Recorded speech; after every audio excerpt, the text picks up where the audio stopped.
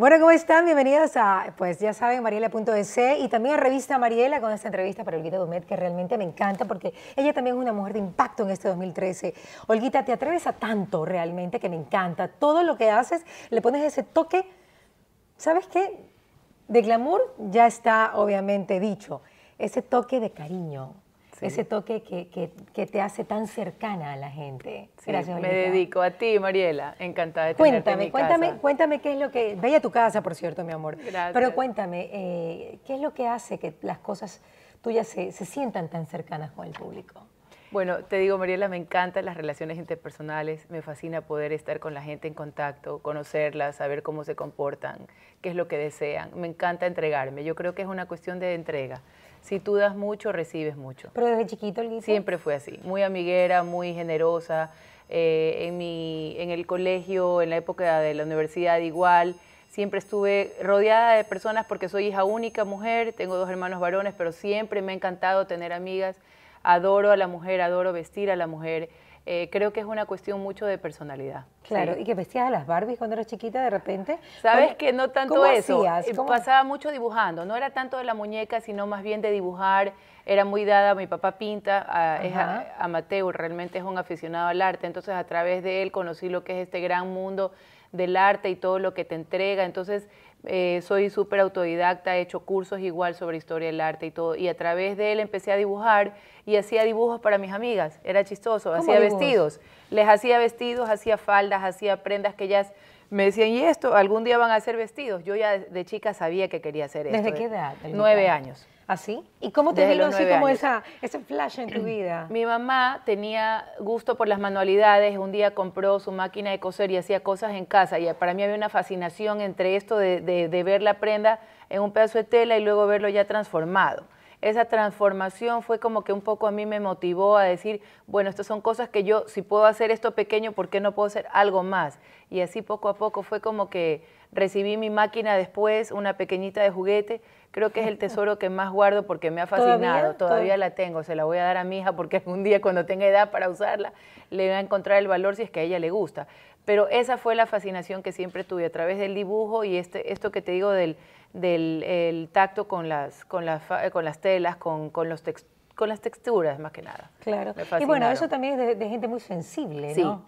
Sí, mi, sensibilidad es bastante grande, podrás entender que cualquier cosa me hace realmente poner muy sensible. O reír. Paso a la risa, al llanto y realmente es una cosa que a veces... Tú eres como la reina mora, a veces canta y a veces llora. Total, me dicen, oye, eres como, ¿por qué te resientes? Realmente sí, ya Tú eres resentida de, naturaleza, de, verdad. ¿Y qué te resiente? ¿Qué, te, ¿Qué, te, molesta? Bueno, detalles, sabes que en cuestión de detalles, cosas de, tu, de los niños, por ejemplo, a veces que no me saludan bien, que no me vienen a dar el súper abrazo, o sea, yo que soy muy efusiva, sí, por decirte, yo de los que más quiero, ¿no? O sea, de los más cercanos a mí. Por decirte que no sean muy efusivos conmigo y yo soy súper efusiva, entonces quiero que, me, que, me, que sean recíprocos, digamos, ¿no?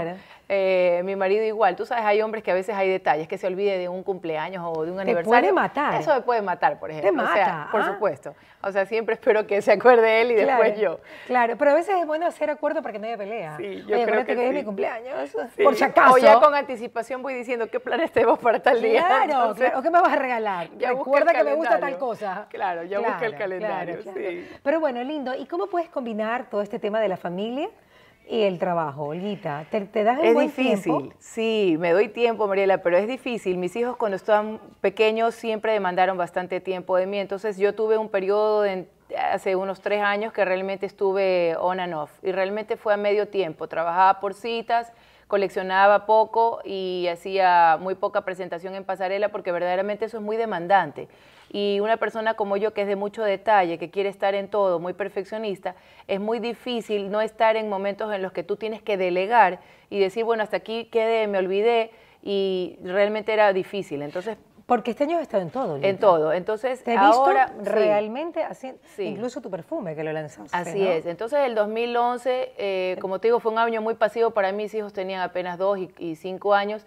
Y hoy que ya están un poco más grandes, que ya están en la escuela, que ya realmente tengo prácticamente el día completo, es muy importante para mí darles calidad de tiempo luego del trabajo pero este año ha sido sobre todas las cosas importantísimo, son mis 10 años de diseñadora. Por supuesto. Entonces tenía que ser una fecha importante, yo creo mucho en los números. Yo soy nacida el primero de abril, sumas el 0 con el 1, ahora 10 años, viene a dar 1 de nuevo. La numerología. la numerología para mí siempre, me, no es que me ha marcado, pero hay pautas en, en todo que me han dicho personas que son más sensibles que yo por decirte, mi signo es el Aries y es el primer signo del zodiaco. O sea, hay muchas cosas que como que... Pero dentro mucho de, Medio Oriente, ¿ah? Sí, y también te diré que hay mucha superstición también en esto, porque por ejemplo, por cábala, por te digo, yo que eh, hago yoga y mi práctica continua sobre estas, estos tipos de ciencias, me dicen, por ejemplo, bueno, fechas que coincidan. 17 de septiembre fue mi graduación y fue mi presentación en mi primer desfile hace 10 años. Ese día tenía que lanzar el perfume. O sea, me explico, hay cosas que como que fueron marcando muy, muy de cerca pautas. ¿Y los días que te ha ido mal? ¿Cómo haces con esos días? No busco,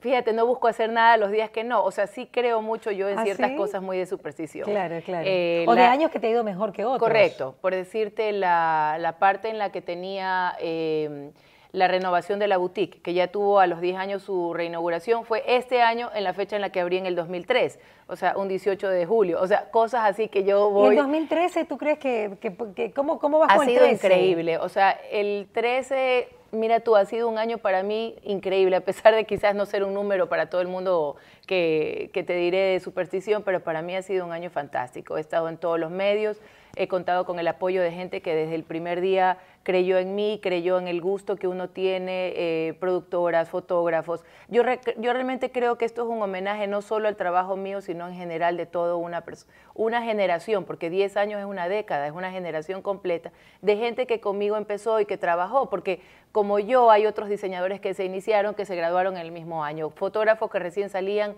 a la luz. ¿Tú eres graduada de Yo soy graduada diseñadora de modas. ¿Acá? Acá en Ecuador, sí. ¿Estudiaste afuera Estudié afuera y tuve que refrendar mi título. Estudié en Suiza, corte y confección, hice patronaje también afuera, estudié francés, clases de historia del arte y luego tuve que llegar acá a homologar todo porque el CONESUB te dice, bueno, hay un título, tiene que refrendarse. Entonces, eh, en Eurodiseño soy la primera promoción de ellos. Ah, sí, estuviste y te graduaste. Me gradué ahí, soy la primera promoción de ellos. ¿Y tus papás cuando, cuando querías ser diseñadora, imagino que tu papá te apoyó por ser un artista, ¿no? Sí, Sí, mi papá fue inmediato. Mi papá me dijo de entrada, me encanta lo que haces, me parece lindísimo. Mi mamá me aterrizó de una, me dijo, a ver, ¿cómo es el tema del negocio? Vamos a ver cómo se hace. ¿En qué parte? O sea, yo pienso que todo diseñador tiene una vena artística dentro. Es prácticamente esto un amor al arte.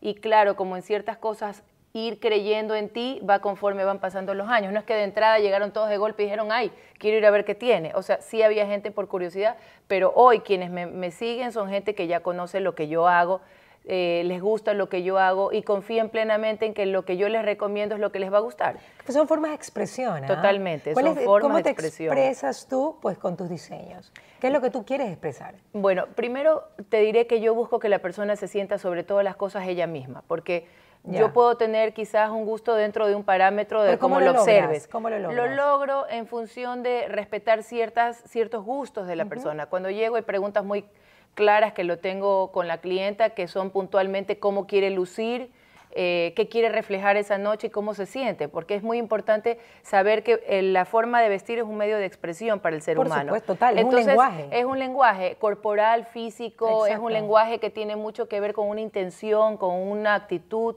Entonces, te diré que hay muchas novias o por decirte eh, personas que vienen a mí por sus 15 años, por su debut, lo que sea, que me dicen, sabes que quiero ser romántica, yo soy romántica, eso es lo que quiero eh, demostrar. Que o sea, que eres un poco psicólogo también. También, en este momento sí, porque imagínate, aparte de la carrera que estudias como psicología del color, que involucra mucho la, parte sensorial de por la ejemplo, persona. Por ejemplo, ahora, ¿qué has querido proyectar con el color lila? Mira, este, este color te da mucha seguridad y es un color muy alegre, es un color que te da, que, que te recrea la vista, que capta el ojo, porque realmente es un color que sienta, sí.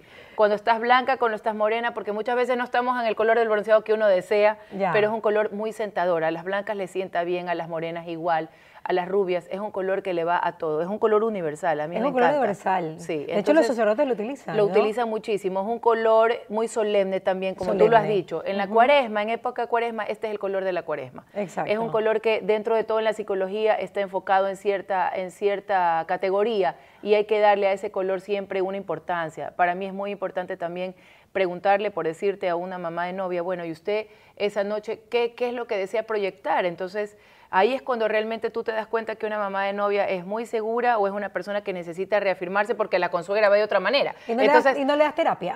Yo empiezo no, como mi que amor, un poco a tú ver, eres mejor no, que tu Es consuegra. que por supuesto, o sea, ahí, Claro. ahí tienes un poco que como que trabajar la psicología y Ya, decirle... quiere competir con la consuegra. Más que nada no quiere quedarse atrás. Claro, Entonces, claro. por eso llegan donde mí, porque si no se hubieran comprado un vestido hecho. Exacto. Entonces, eso es lo que ellas me dicen. Vengo acá porque sé que usted me va a hacer algo diferente, que nadie lo va a tener, que no se va a parecer a nadie. Y sobre todas las cosas, Mariela, recuerda que trabajamos con cuerpos, son siluetas, somos individuales, somos un mundo. No todas las mujeres calzamos en la misma talla, Exacto. no todas las mujeres encasillamos en el mismo estilo de Peor vestidos las latinas. Las latinas sobre todas las cosas. Y Increíble. hay ciertos este, momentos en la mujer que son clave, que son estratégicos. Por decirte, un debut, unos Es verdad. 15 años, una mamá de novia, una novia. Ella no puede ir como todo el mundo, como sacada de una revista. Tiene que ir luciendo única, exclusiva, Claro. diferente. Pero ahí se puede perder, ¿sabes? A veces cuando quiere cambiar mucho en esos momentos claves de la vida, por ejemplo, en los 15 años, en el matrimonio, cuando se casa tu hija, que, o- bueno, que de hecho son momentos claves también para bajar de peso para las mujeres, ¿no? Así es. A veces bajan 20 libras de ley, así lo suban al día siguiente,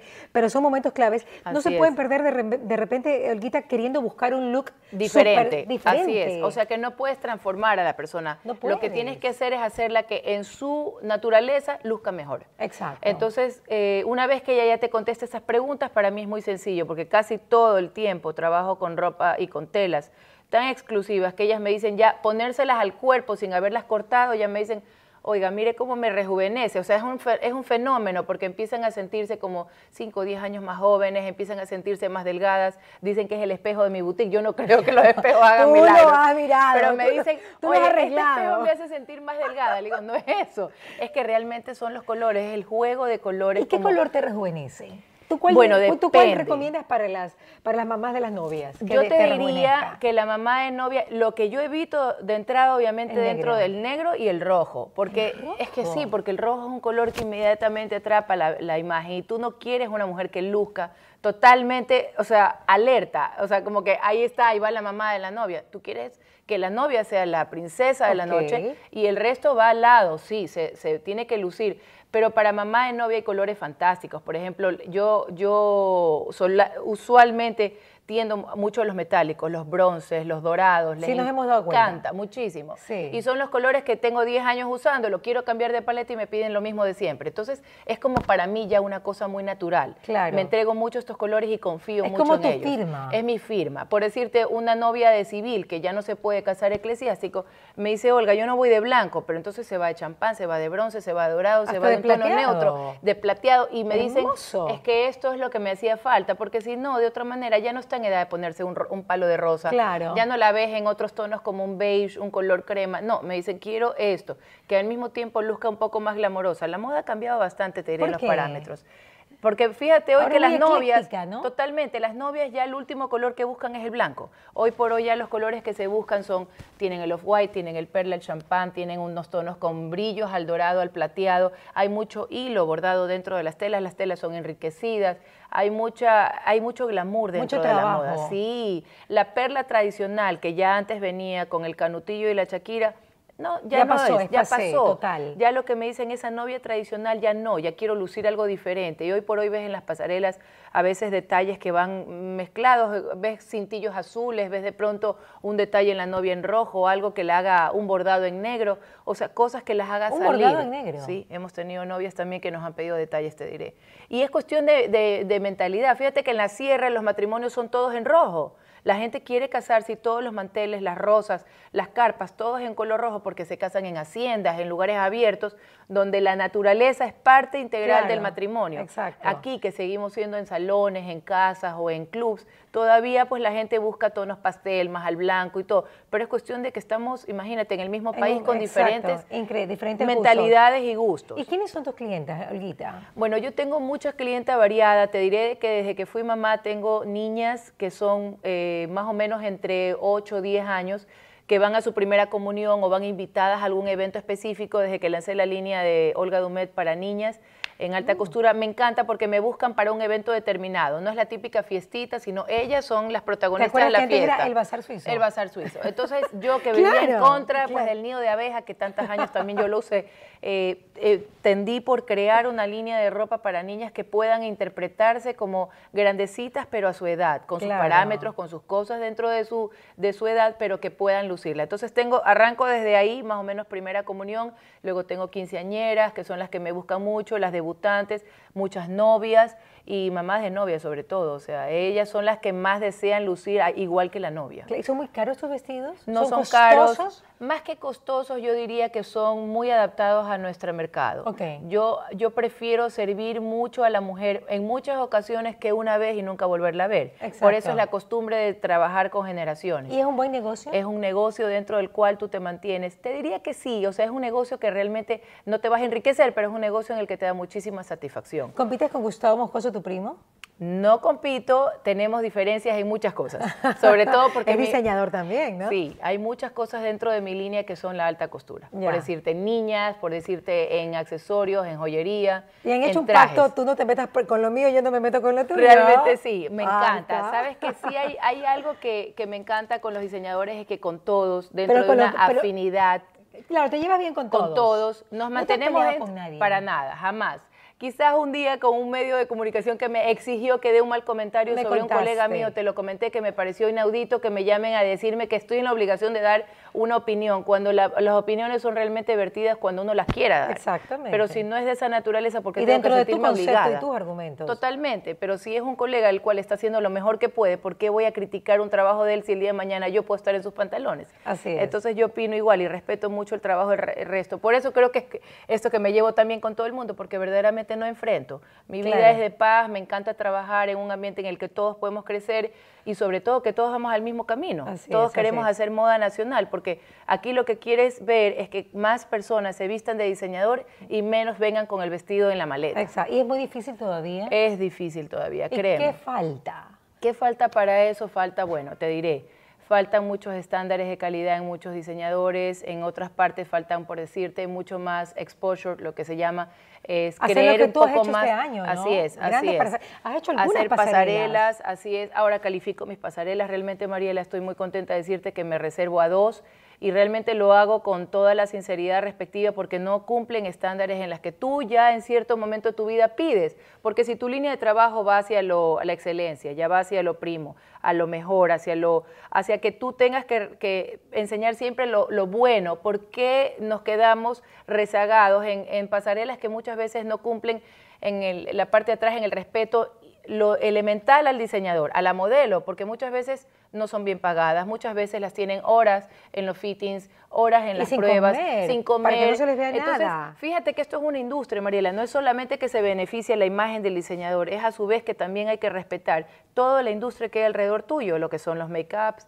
lo que son los estilistas, lo que son las personas que trabajan contigo, los vestidores, es todo un equipo al cual tú te debes y que si yo estuviese fallando en un momento, ¿le fallo a quién? A mis operarias, a la gente que está detrás mío, que cree en la marca, que está atrás mío, porque yo esto no lo hago sola, lo hago con un equipo de 12 personas, que son las que alrededor mío trabajan, son mis contadoras, los auditores, las personas que trabajan en lo que es la parte de la confección físicamente, y son personas que han crecido conmigo, porque en esta marca se iniciaron desde el día uno. ¿Tú eres la engreída de todos, de toda tu familia? Súper engreída. De, toda tu familia. De toda, papá, mamá, hermanos, de, de tíos, todos. De bueno, ya te fijaste el día del lanzamiento, estaban todas ahí, todos, no me fallaron uno. Pero no te falló nadie. Nadie. Tal vez los que estaban viajando, ¿no? Así es, los que, bueno, obviamente que no pueden estar porque la fecha no puede estar. que estuvo divino. Divino, y fíjate, de 250 personas, porque en el Village pues no había espacio para más, eso es lo que nos dieron de cupo. Llegaron 220, o sea, las 30 me llamaron a decir no podemos llegar porque estamos eh, algún compromiso, algo que estoy fuera del país, pero realmente yo me sentí que estuve ese día muy bien respaldada, me sentí apoyada, me sentí feliz. Fue muy bonito. Y, por supuesto, gente de todos los ámbitos. De todo. De todos los ámbitos, de, todos los ámbitos. Tú veías realmente gente de, muchos gremios, por decirlo de alguna manera. Por supuesto, y es lo que yo te Grandes representantes. Son las caras que vistes. son las caras que viste cuando empezaste.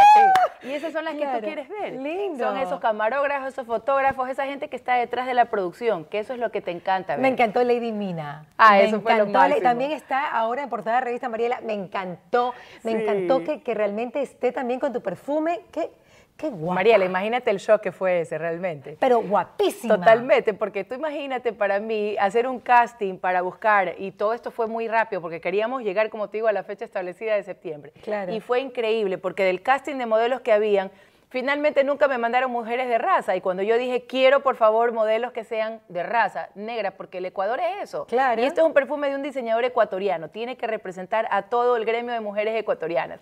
Entonces llegaron las, las- las fotos de Lady y no hubo opción, o sea, era ella, porque era, o sea, es una mujer que ya realmente yo pienso que tiene la sencillez, tiene el carisma, tiene el gusto, tiene la- ¿Puedo- las facciones. ¿Puedo dar una opinión? Sí. La mejor foto. La mejor foto. La que sí. está acostada. Sí, Es un totalmente. Es un espectáculo. Es un Déjame decirte espectáculo. que comentarios de gente del extranjero que me han dicho, que han visto y todo, me han dicho, Olga, esta mujer es espectacular, es una Barbie negra, es divina, esos ojos atrayentes, o sea, su mirada, todo. Ella se entregó por entero. es un imán. O sea, Totalmente. es maravillosa. Ella se entregó por entero a la producción, con una entrega, con una discreción, no te puedes explicar nunca, ni por haber sido Miss Ecuador con poses de diva, absolutamente. Increíble. Olga, ¿en qué estoy? Fue los fittings, los vestidos fueron hechos a su medida, todo fue coordinado con ella de una manera fantástica. Y realmente cuando se presentó la campaña, la gente me decía, no puedo creer que he escogido una mujer de raza negra. Y es así, es porque realmente tú sientes que eso es lo que buscas. Claro. Atraer, unir, llegar, impactar. Y bueno, a partir de eso ya te podrás imaginar todas las felicitaciones para ella y para el equipo de producción nuestro. Increíble. Fue fantástico, Amor, fue un acierto. Ya, para finalizar, ¿qué, cuál es, ¿qué es lo que más tú ambicionas en la vida? Porque claro, hay gente que ambiciona un buen marido, hay gente que ambiciona dinero, hay gente que ambiciona, eh, qué sé yo, eh, posición, hay gente... Hay mucho tipo, poder, hay muchos tipos de ambiciones y estos que he nombrado tú tienes ya algunos. Sí. o sea, ¿me explico? Así es. ¿Qué ambicionas tú? Bueno, te diré, en lo voy a separarlo. En lo personal, realmente es un crecimiento que estoy teniendo. Estoy en una etapa de mi vida en la que pienso que es cuando la madurez te llega al máximo. Es, la mejor, es el mejor exponencial que en este momento yo tengo. Pienso que a partir de los 40 la mujer empieza a vivir. En lo personal pienso que la- el crecimiento tiene que llegar a, a una realización total con mis hijos y mi familia para verme realizada como enteramente como familia y verlos a ellos crecer, porque son pues mi reflejo En lo personal, en ver lo crecer a- personal, a, tus hijos. ver crecer a mis hijos y yo como persona. Y en lo profesional te ¿Por qué diré no que es la... a tu esposo en esa ambición?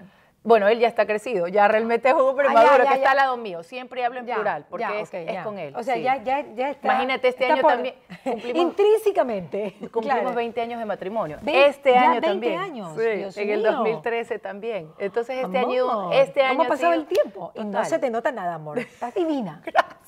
Maravilloso. Este año ha sido para mí un año en, los- en- en- en todo, en todo aspecto. Imagínate, hasta con mi esposo, acabamos de venir de viaje de una segunda luna de miel. Así ¿qué que ha sido, bueno, 20 años, imagínate. Después de pasar realmente por muchas dificultades, nuestros hijos nacieron tarde, o sea, yo Claro. recién soy mamá a partir de los 35 años. ¿Y lo estás disfrutando? Totalmente. Por eso te digo que en lo Una plano locura. personal, para mí eso es el mayor, es, la- es el mayor crecimiento que puedo tener. Ser mamá completa, verlos a ellos, pues realizarse como personitas a medida que va pasando su ¿Y dentro de lo profesional? Dentro de lo profesional, para mí es muy importante proyectar la marca afuera y hacia eso voy. Hacia es la vas. proyección internacional. ¿Qué dijo Silvia. Cherasi cuando vino acá?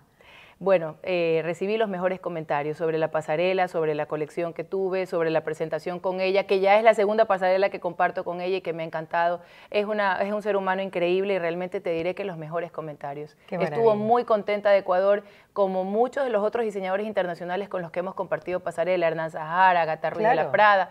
Todo, Marta, acabo de estar con María Luisa Ortiz también de Colombia, una ex- tremenda exponencial en Pasarela No Rosa tan en Quito. conocida, pero- Pero también pero dentro buena. de ella es más enfocada hacia Europa. Y créeme, todas con aplauso y toda la labor que se está haciendo en Ecuador. Increíble. Ecuador va para arriba, Mariela, créeme. bien, y claro, en eso somos estamos parte. seguros. Yo, yo quisiera que generaciones más adelante de gente que siga esta carrera mire atrás y diga, ese nombre es el que marca la moda del Ecuador. Hacer historia. Así es. Eso Qué es. linda. Y que Dios te dé muchos años de vida, Elvira, A ti, para que puedas Mariela. realmente haber realizado todos tus sueños. Gracias, mi amor, querida. por recibirnos aquí en la casa. Mm, A Dios ti, gracias en estas fechas a ti, Ay, a todos sí, tus feliz Navidad, hijos. es cierto. Sí, ya estamos Ya cerca. saben, mariela.es, revista Mariela, Olguita Dumet.